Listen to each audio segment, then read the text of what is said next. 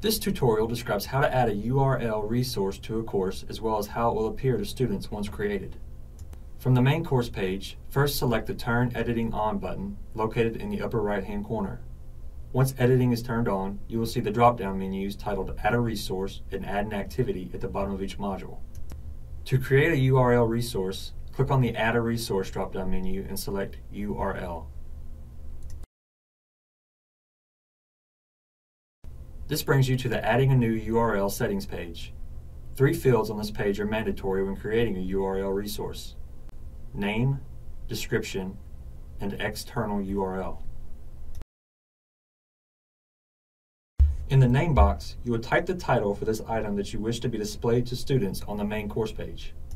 In the description box, you will type a brief description of this resource.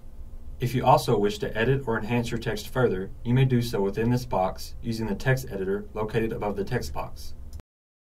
Under Content, use the external URL field to enter the desired link. The URL is a web address for the link you want your students to be linked to.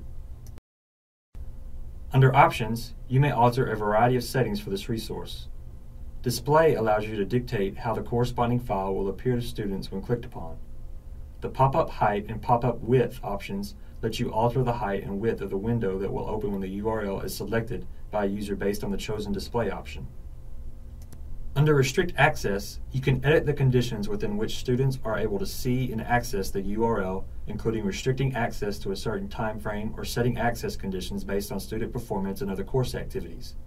For more information about access restrictions, please see the Restrict Access tutorial. After all settings are as desired, select the Save and Return to Course button. This returns you to the main course page where your new URL appears at the bottom of the selected module. This concludes the Adding a URL Resource tutorial.